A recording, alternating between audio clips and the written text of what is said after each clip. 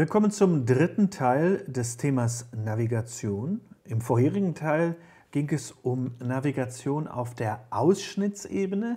Und äh, bei der Navigation auf Ausschnittsebene haben wir ein großes Objekt und in dem müssen wir einen Teil anzeigen. Das bedeutet natürlich, dass wir irgendwie eine Struktur brauchen, mit der wir sagen können, das ist weiter oben, weiter unten, weiter links, weiter rechts, ähm, früher, später, was immer das ist, das müssen wir ähm, darstellen können. Wir brauchen also so eine Struktur. Dieses Objekt muss strukturiert sein, sonst ginge das ja gar nicht.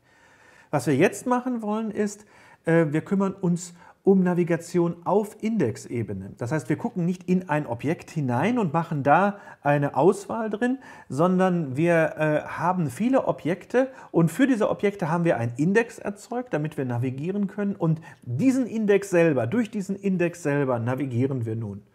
Häufig werden diese Techniken natürlich in Kombination verwendet. Zum Beispiel könnte dieser Index jetzt ja wieder zu groß sein.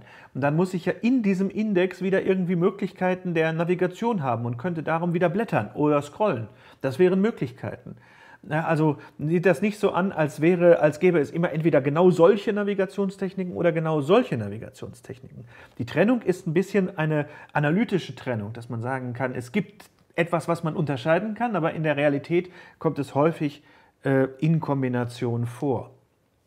Was sind das für äh, Techniken, diese Navigationstechniken auf Indexebene? Schon gesagt, es gibt einen zusätzlichen Index und durch den äh, navigieren wir jetzt irgendwie. Da gibt es ganz typische Techniken für, die sich äh, etabliert haben. Es kann natürlich weitere geben. Ich erzähle euch, welche, die es üblicherweise schon gibt.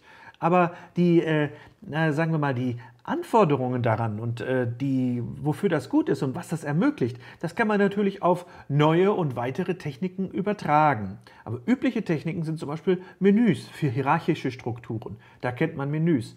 Wenn man Kategorien bildet, bieten sich Reiter an, also diese Tabs, wie man modern sagt. Im Deutschen ist es dann Reiter.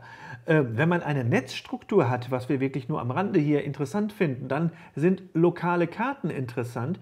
Und wenn es darum gehen soll, wie bin ich irgendwo hingekommen in dem Ganzen, wie verhält sich das zu dem Ganzen äh, in einer hierarchischen Struktur zum Beispiel, aber auch in einer Netzstruktur geht sowas, dann können wir über Breadcrumbs sprechen, über Pfade.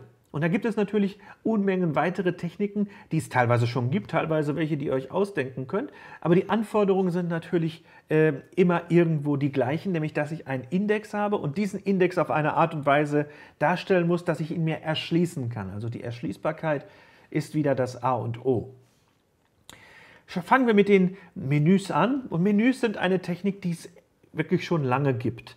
Also sobald man äh, dahin gekommen ist und gesagt hat, ich möchte äh, vielleicht jetzt nicht eine Kommandozeileninteraktion haben, sondern etwas haben, wo mir ähm, an einem Textbildschirm etwas angeboten wird und ich da eine Auswahl treffen kann, kommt man fast zwangsläufig zu Menüsystemen.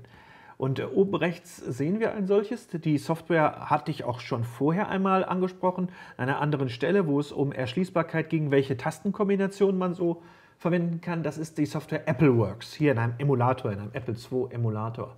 Und was ihr hier seht, ist ein Menü, ganz klassisches Menü. Also hier sind mehrere Möglichkeiten, mehrere Funktionen, die ich ausführen kann und die sind durchnummeriert von 1 bis 6.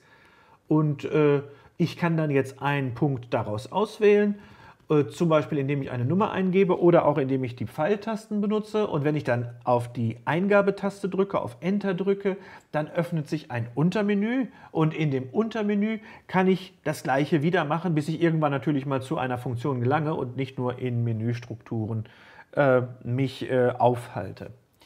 Ja, dieses Menü, diese Menüart und Weise hat äh, ähm, Tradition, Gibt es teilweise heute noch, also vor allen Dingen mal so Einstellungsmenüs von Fernsehern sind gerne mal noch so. Das äh, ist ein bisschen altmodisch, das so zu machen, denn äh, das Problem ist, wenn ich eine neue Menüebene öffne, dann ist die vorherige Menüebene komplett verschwunden. Das heißt, wir haben diesen absoluten Kontextwechsel oft. Dem kann man ein bisschen begegnen, äh, indem man äh, hinschreibt, wo man hergekommen ist, zum Beispiel, sodass man die Möglichkeit hat, wieder zurückzugehen. Und äh, hier ist das eigentlich noch auf eine interessantere Art und Weise gemacht worden. Ähm, die, äh, was hier bei Apple Works äh, verwendet wurde, nämlich diese Karteikarten, die aber nicht jetzt wie so Tabs ähm, angeordnet sind, dass ich da oben Reiter auswähle und dann sage ich nehme den dritten oder vierten, sondern die liegen dann immer voreinander, die verschiedenen Menüebenen. Aber ich kann dann halt immer die dahinterliegende Menüebene äh, noch sehen. Das ist natürlich eine interessante Art und Weise, das zu machen, weil da ein gewisser räumlicher Kontext immer erhalten bleibt und auch die Zugreifbarkeit auf die obere Menüebene immer gewährleistet bleibt. Äh, interessante Technik. Hat sich dann allerdings äh, nie weiter so durchgesetzt. Äh, gab es nur in diesem ähm, Umfeld äh, des äh, Apple II in den 80er Jahren, also zu einer Zeit, als die grafischen Nutzungsschnittstellen moderner Art mit dem WIMP-Interface, also Windows Icons, Menus und Pointing Device, schon verbreitet waren. Es gibt aber durchaus einen Bereich, wo diese ganz klassische Menüstruktur dann doch wieder zum Vorschein kommt, und zwar bei Smartphones. Schaut euch auf der rechten Seite das an, da seht ihr die Einstellungen aus äh, meinem iPhone. Bei Android ist das ziemlich ähnlich, braucht man also gar keine großen Unterschiede zu machen. Und was haben wir hier? Wir haben ein ganz klassisches Menü. Das ist dem oberen äh, von Apple sehr ähnlich, außer dass wir keine Zahlen hier stehen haben, sondern wir müssen halt etwas antippen. Aber wenn ich zum Beispiel jetzt dann sowas antippen würde wie Kontrollzentrum, dann baut sich wieder eine neue Seite auf und die hat wieder lauter solche Menüpunkte. Und ich habe dann die Möglichkeit, zum obigen wieder zurückzukommen, dadurch, dass ich oben so einen Zurückknopf kriege. Das ist ziemlich vergleichbar mit dem, was äh, da in den 80er Jahren beim Apple II auch schon gemacht wurde. Ja, bei WIMP da steckt das Menus ja schon drin. Also Menüs sind bei WIMP sehr zentral. Und äh, wie die aussehen, das äh, kennt ihr sicher alle noch, auch wenn sie heute seltener werden. Mac-Nutzer kennen sie immer, da sind, ist es wirklich immer noch sehr zentral. Aber im Windows-Bereich sind sie etwas weniger geworden. Und auch in manchen äh, Unix-Distributionen habe ich schon Software gesehen, die keine Menüs dieser Art mehr hatte.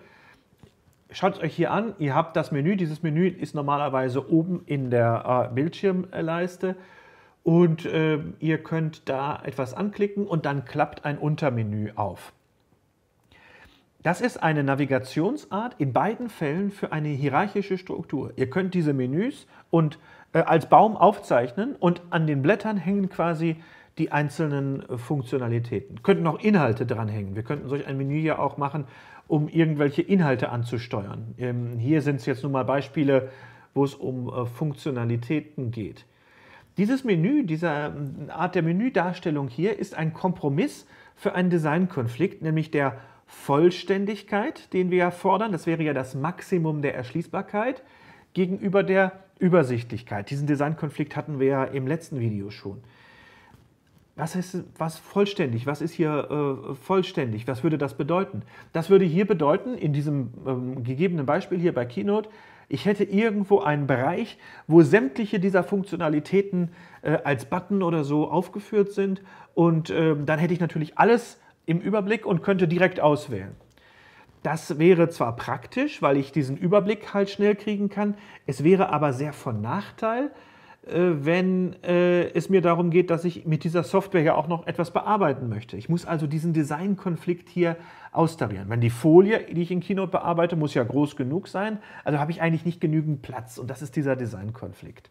Und wie hat man ihn hier austariert? Und das ist eine Standardaustarierung gewesen über Jahrzehnte.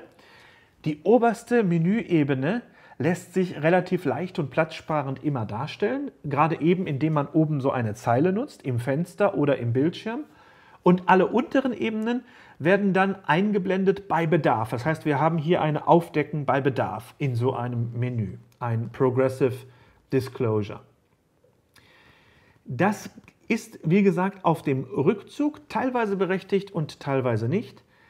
Äh, es ist dann berechtigt, wenn wir diesen Platz auch nicht haben, oder wenn wir nicht diese platzsparende Variante verwenden können. Diese platzsparende Variante funktioniert ja dann gut, wenn wir eine Technik einsetzen, die eine sehr genaue Positionierung ermöglichen oder wie bei Apple noch den Trick machen, dass wir das oben in die Leiste bringen, sodass wir quasi den unendlich großen Button nutzen können. Denkt an Fitz Law. Das heißt, für eine Mauszeigertechnik, eine Technik mit einem Zeiger am Bildschirm, sind diese Menüs ganz gute Lösungen. Aber wenn ich äh, zum Beispiel Touch haben möchte, dann ist das so am Bildschirmrand schwierig und auch zu klein. Ich müsste also größere Elemente verwenden und dann wird dieser Designkonflikt sich wahrscheinlich austarieren müssen.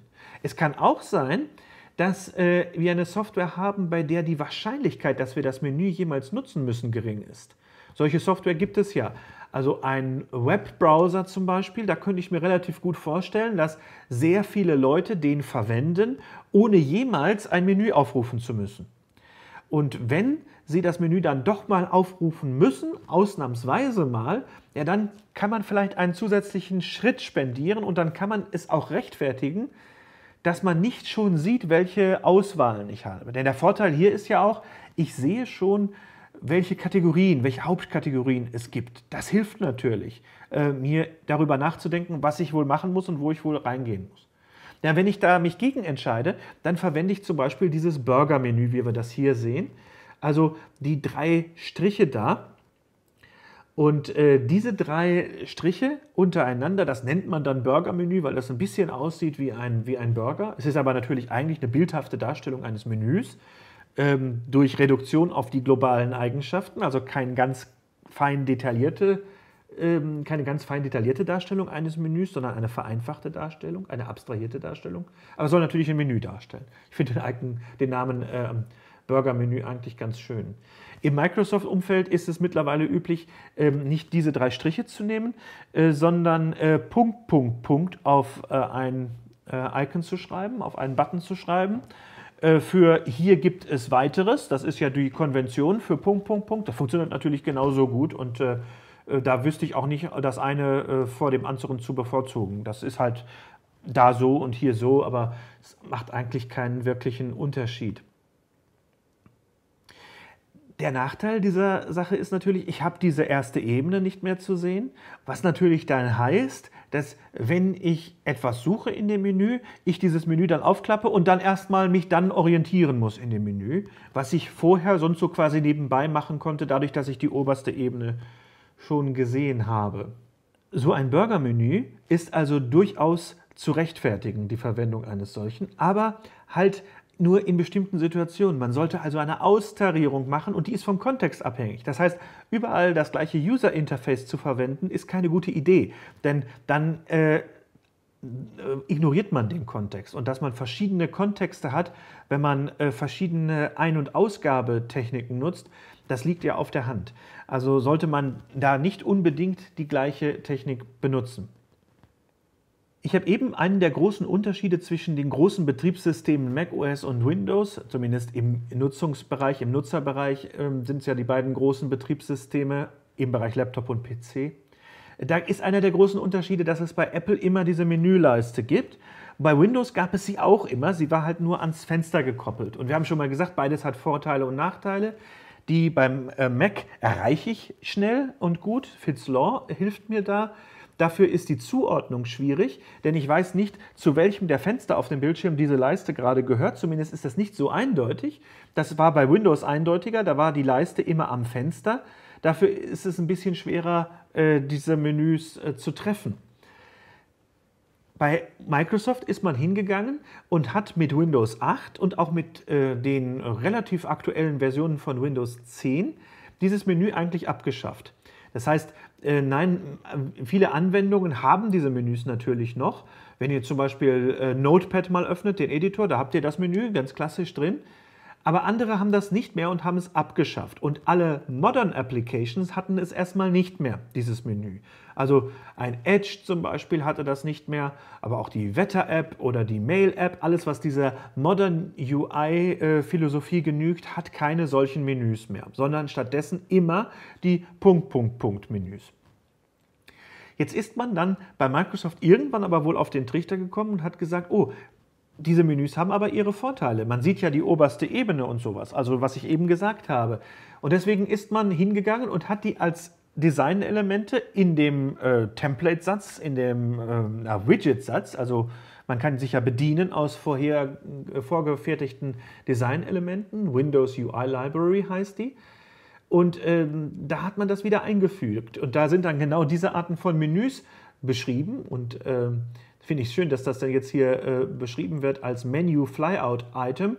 äh, und ganz neu eingefügt wird als ganz neue Technik. Äh, man braucht nämlich Windows 10 Version 18.09, äh, um diese Menüs auch verwenden zu können. Das ist jetzt natürlich auch schon wieder ein paar Tage her, aber 2018 äh, war jetzt natürlich äh, lange, lange, lange Zeit später als die Erfindung dieser Menüs. Aber äh, man ist halt wieder damit zurückgekehrt. Man sieht aber zum Beispiel, wenn ich mir das jetzt hier angucke, diese Elemente sind ziemlich hoch. Das heißt, es ist äh, optimiert dafür, dass ich auch mit Touch diese Menüs jetzt trotzdem äh, benutzen kann. Was ich bei den klassischen für Maus optimierten nicht kann, weil da sind die Elemente ziemlich schmal und da ist man mit dem Finger, wo man ja direkt immer treffen muss, manchmal sehr im Nachteil.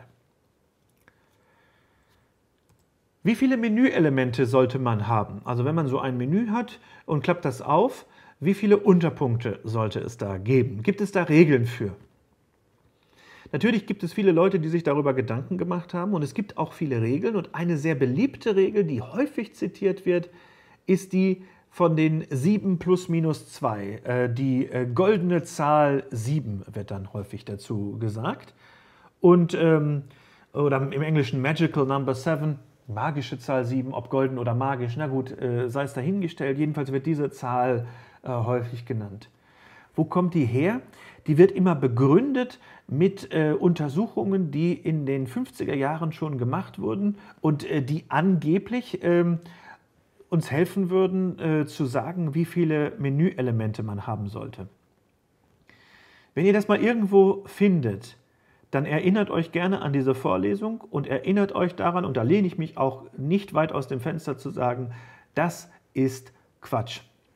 Diese Untersuchung hat es natürlich gegeben, aber was hat man eigentlich gemacht in dieser Untersuchung?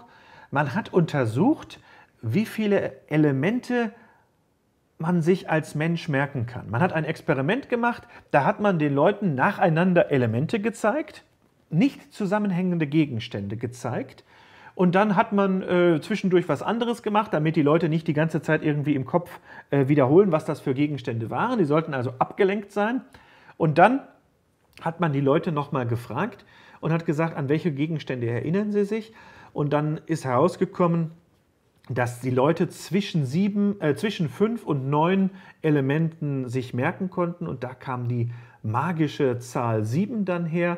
Und äh, dann äh, wurde diese Zahl häufig irgendwann aufgegriffen und ins User Interface Design übersetzt, unter anderem auch in der ISO 9241, was ich einigermaßen erstaunlich finde. Denn wenn man sich mal überlegt, äh, was hier gemacht wurde, dann passt das überhaupt nicht zu dem, wofür man es verwendet.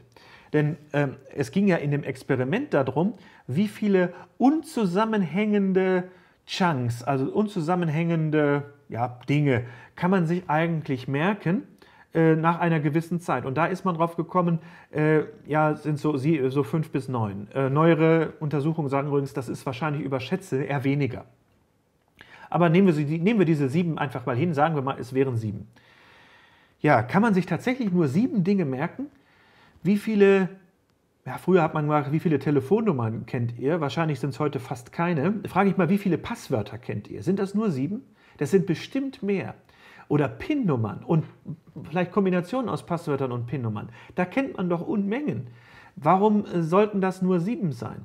Dieser Test gibt ja an, wie viel nicht zusammenhängendes und nicht zu sehendes man sich merken kann. Aber wenn ich ein Menü habe, ein Menü ist doch genau anders. In einem Menü zeige ich doch zusammenhängende Elemente an. Also ich gruppiere doch in einem Menü nicht beliebige Dinge, sondern Dinge, die einen gewissen Zusammenhang haben. Ich habe ja hier eine semantische Struktur in einem Menü, zumindest meistens. Und wenn ich das Menü aufklappe, dann sehe ich sie dauerhaft. Das ist ja genau der Vorteil von solchen grafischen Nutzungsoberflächen, dass ich das dann persistent am Bildschirm sehe. Es geht ja gerade nicht darum, dass ich Dinge frei erinnern soll, sondern ich soll eine Auswahl treffen. Und da ist dann wichtig, dass ich die richtige Kategorie finde und dann sehe ich die Elemente und dann finde ich auch die Auswahl. Es geht genau ums Auswählen statt Erinnern. Das heißt, diese Regel anzuwenden auf, ähm, äh, auf Menüstrukturen ist wirklich absoluter Unsinn. Und wenn ihr das irgendwo findet, dann nehmt es vielleicht einfach hin. Es steht auch häufig in Design Guidelines. Nehmt es hin, wenn da steht nicht mehr als sieben, dann macht halt nicht mehr als sieben. Aber ergonomisch ist das zumindest nicht so begründbar, wie es hier begründet wurde. So viel äh, zunächst mal zu den Menüs. Und es gibt im Bereich äh, der Navigation auf Indexebene noch eine ganze Reihe weiterer Techniken, äh, zu denen ich im nächsten Video gerne kommen möchte.